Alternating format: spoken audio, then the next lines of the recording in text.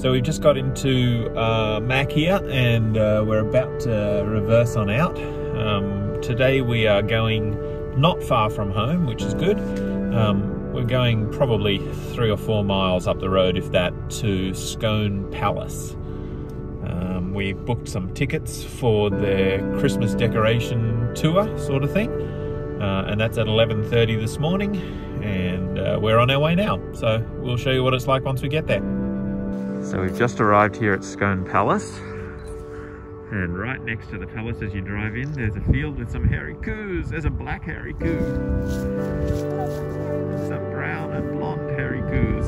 Look at them all, aren't they cute? We love the hairy coos.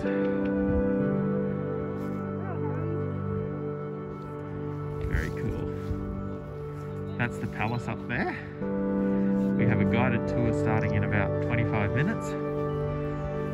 So we will go up that direction and start having a look.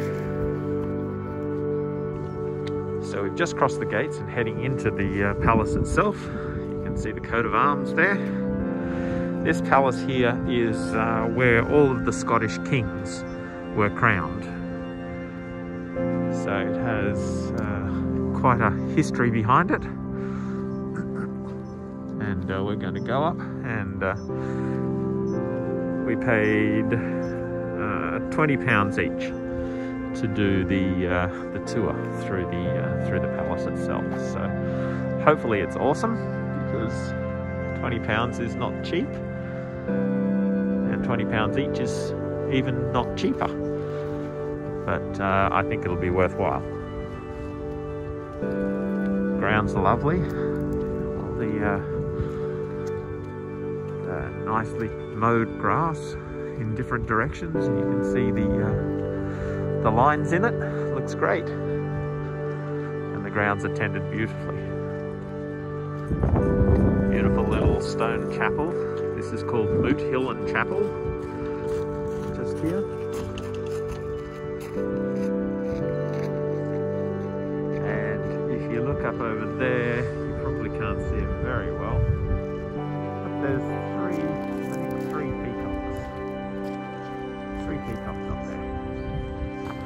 Unfortunately, I think there's no uh, filming or photography in uh, inside the castle, which is a real shame because uh, I think it's going to look quite beautiful in that. But we're not going to be able to show you that, I don't think. Uh, if we can, or if we can sneak some, we will.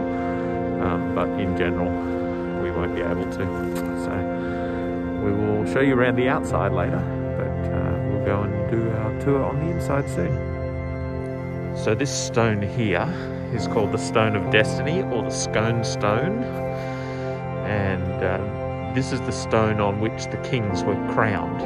So they would kneel on the ground and put their head over the stone and uh, uh, the sword I would imagine would be uh, touched on their shoulders and uh, they would be crowned crowned um, king.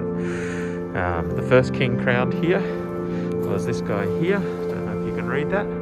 Kenneth MacAlpin was enthroned here in uh, in Scone in 843 the year 843. So he was the first of the Scottish kings, and there's been 30 odd Scottish kings um, who were uh, crowned here.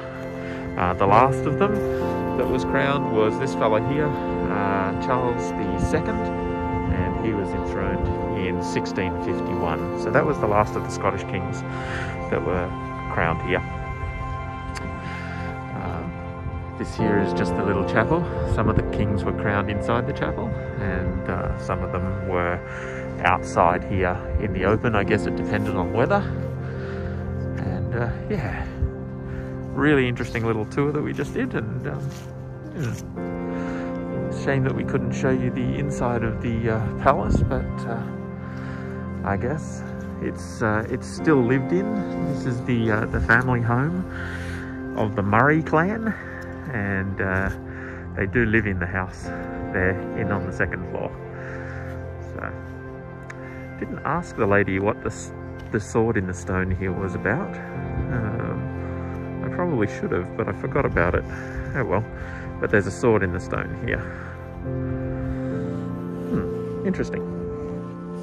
The grounds are quite large here. I think somebody said there, do you remember what the lady said? 32,000 acres or something like that. Um, very large. There's lots of nice walks on the ground. And um, we're just going to be heading through the arch here once Jen's finished taking a couple of photos. Heading through the arch and going around to see what we can see. One of the things our tour guide was saying was that David Douglas, who was the famous Scottish botanist uh, and gardener, used to work here on the property uh, Palace. There's the palace up there. Um, and David Douglas is known, most well known, for the Douglas fir. Uh, and you can see examples of the Douglas fir trees just there. So those trees, the Douglas fir, were named after him uh, and from here in uh, from here in Scotland and from Scone.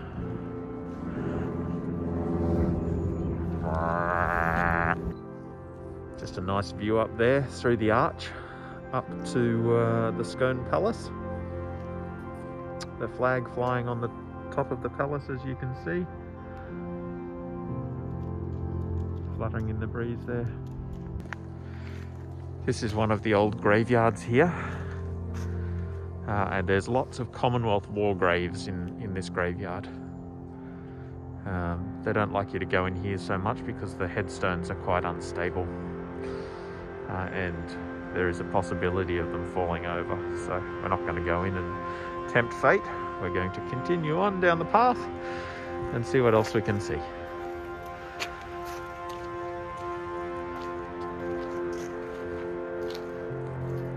So we've just arrived at the uh, the maze. They have a big hedge maze. Now the hedges are all dying and everything, but that's okay. Um, this hedge maze, it's in the shape of a star.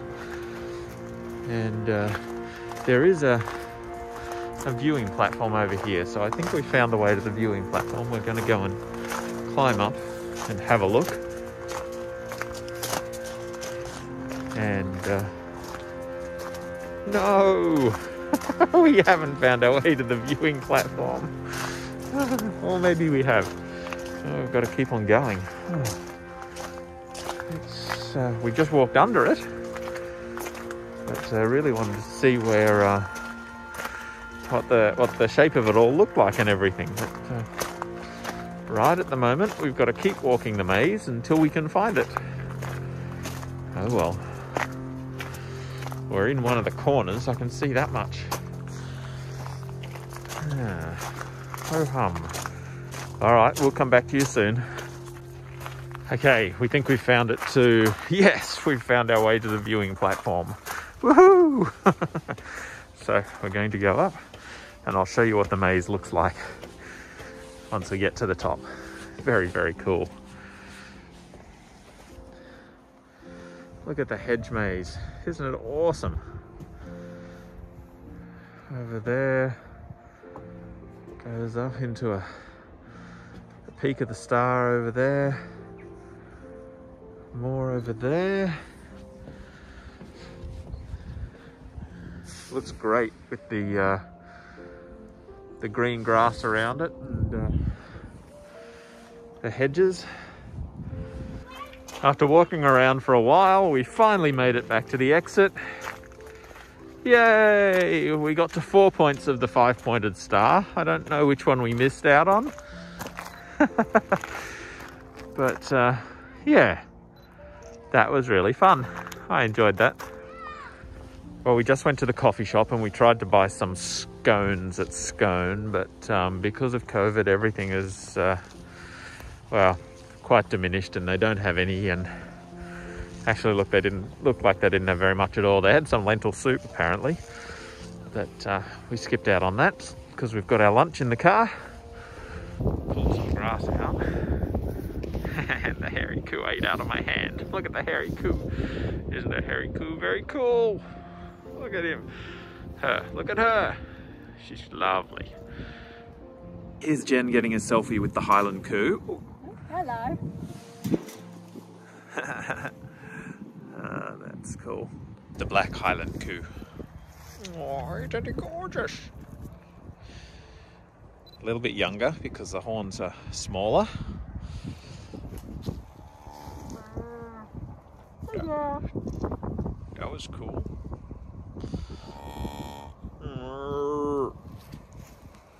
All right, we'll talk to you a little bit later. See ya. Bye. Wave. She's funny.